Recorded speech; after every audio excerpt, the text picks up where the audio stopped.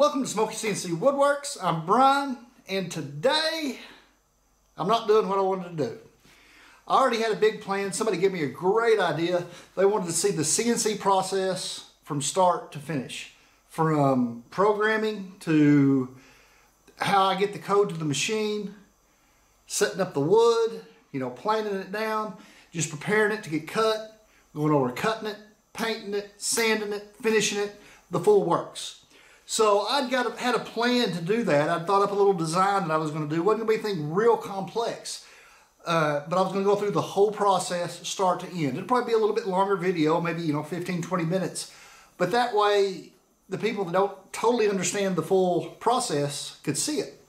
And so this guy has a CNC and was just wanting to kind of see what I did going through it. So I thought, man, that's an awesome idea. It started storming again today.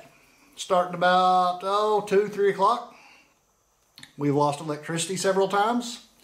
And enough times that I gave up and thought, well, you know what? I'm not going to get out there and be cutting and lose power because there's no pause button on the machine. Once you start it and it stops, well, I take that back. There is a pause button, but what I mean is if you cut the power to it, I can't pick up where I left off. I have to start completely over.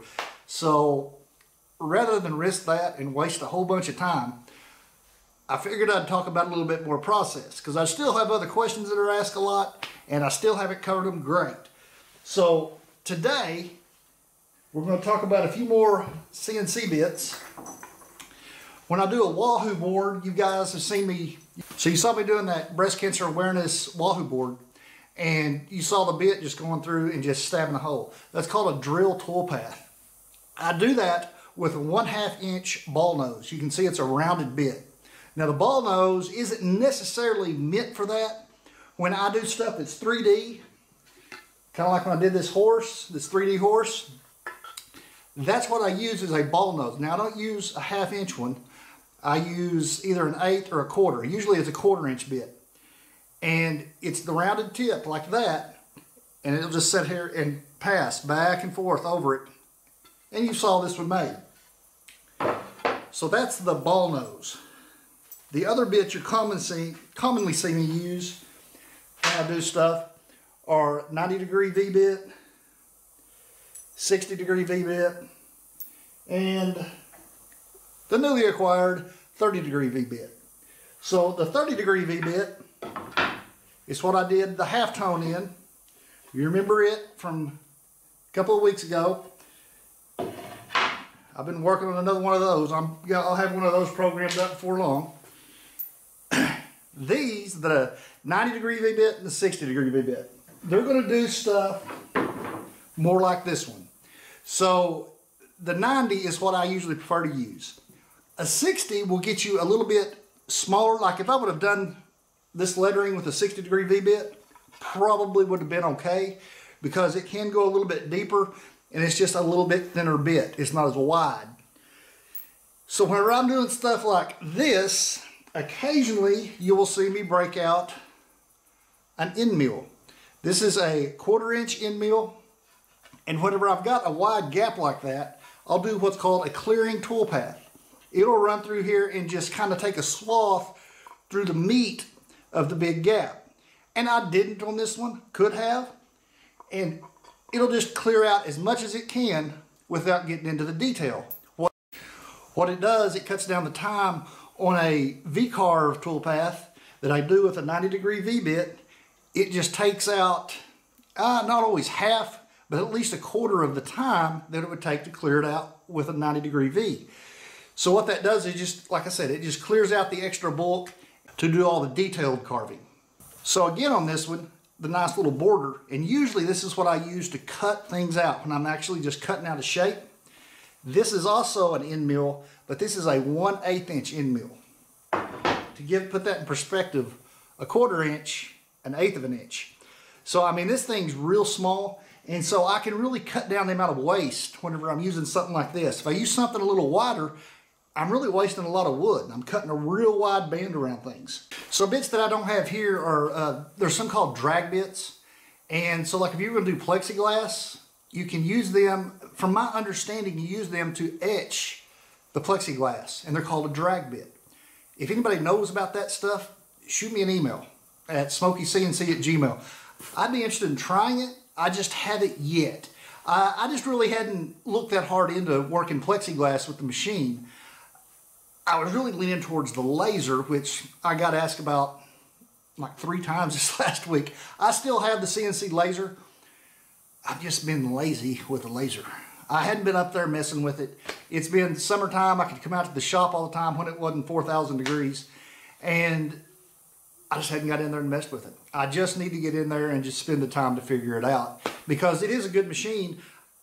I just hadn't played enough with it yet. When I do get it going, trust me, you'll know it because I'll be showing some of those videos too. Okay, now a couple of added extras. I'm over here in the CNC room now that I've talked a little bit about before, but not in a while. So one of the added extras that you guys don't usually see is this little jewel right here. This is emergency kill switch. So if the machine messes up and just starts to do its own thing, which believe me, occasionally it does. And the way that happens is when I'm trying to run the machine too fast and I catch some drag and it starts slowing the machine down and it'll start to skip. And when it does that, sometimes it'll just go off the rails. And I mean, it will just, not literally off the rails, it'll just turn and do its own thing and you got to be ready on the kill switch or you could actually damage the machine. You could torque it and bend the rails. So the other thing I've been asked about recently is uh, limit switches.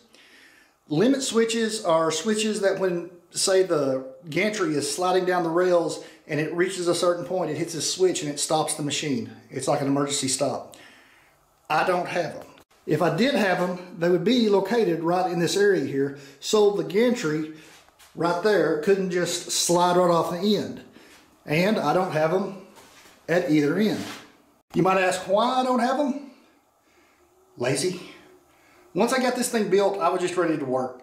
So my limit switch is me. I, I just pay very close attention to how the machine's running and I don't let it get that close to the end of the rail.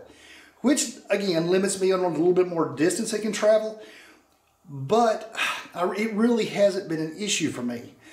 I think limit switches are a great idea. If you're going to build a machine, I would recommend them.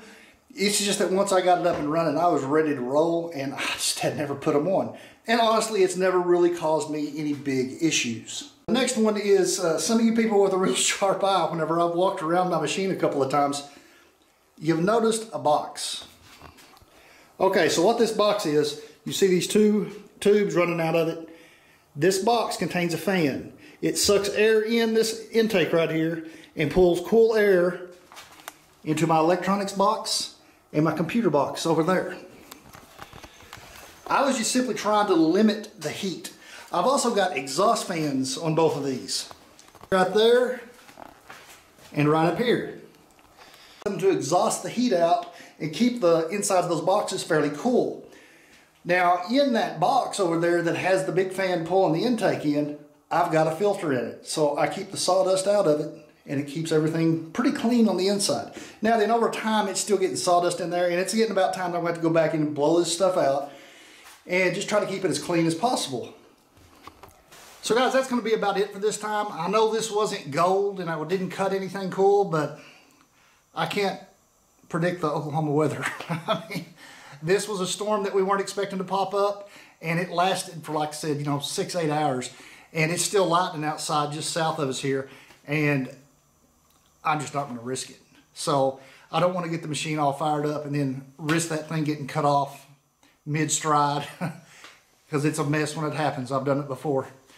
So guys, that was just a few things that I'd not talked about. I'd talked about some router bits before, some uh, CNC bits, and I've showed you most of them that I actually use on a regular basis. Went over a few things there on the machine. These are just other things that people have asked for. I still haven't covered them all, but I'm getting closer. And one day I'll just make me a great big list and just do it all in one video and hit everything I can think of. Just that way it answers a lot of questions. So like I said, on the next video, I am probably going to try to do a process one where I go from computer to finished product all the way through it. It'll be a longer video, but I think it'll be a good idea just so everybody can see what the whole process takes. Now it won't reflect the actual time because I will of course cut it down, but it will reflect every little step I go through. So guys, that's going to be it for this one. If y'all hadn't ran over to check me out on Smokey Uncuffed, I'm on podcast, I've got a website, and I'm here on YouTube. And don't forget to subscribe to Smokey CNC Woodworks, and I'll see y'all next time.